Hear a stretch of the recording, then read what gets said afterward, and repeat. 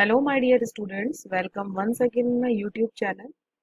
So today in this video, we are going to discuss about aqueous humor, humor and vitreous humor.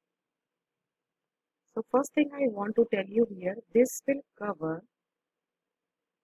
less area of eye. और vitreous humor के लिए students हम लोग बोलेंगे it will cover more area of eye दूसरे point पे अगर हम लोग बात करें तो ये एक clear watery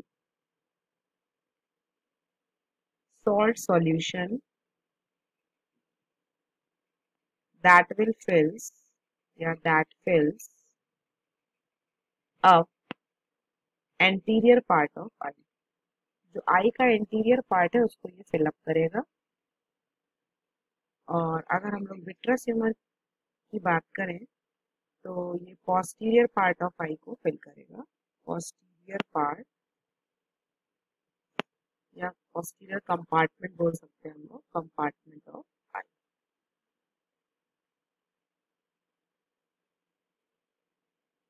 इसके लिए भी हम लोग बोल सकते हैं क्लियर है ट्रांसपेरेंट है jelly like substance vitreous humour के लिए आप लिख सकते हैं। This is jelly like substance next point की अगर बात करें इनकी लोकेशन की तो ये मिलेगा हमको between cornea and lens lens और कॉर्निया के बीच का पार्ट है। और ये कहाँ पे मिलेगा? Lens and retina it is found between lens and retina next point की अगर हम लोग बात करें तो ये सप्लाई करेगा nutrition supplies nutrition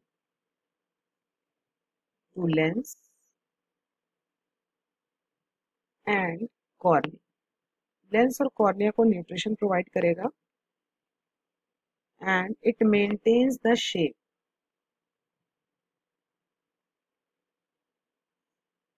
the shape of cornea.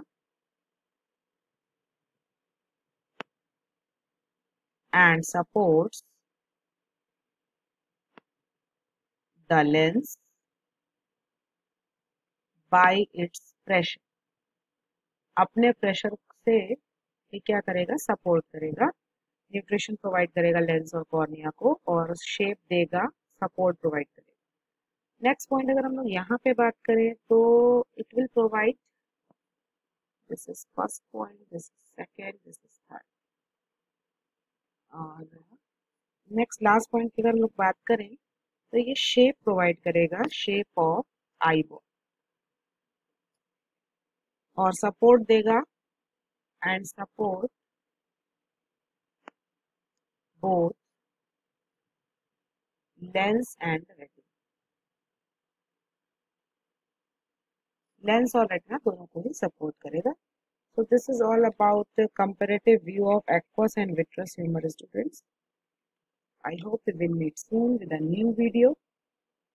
Thank you once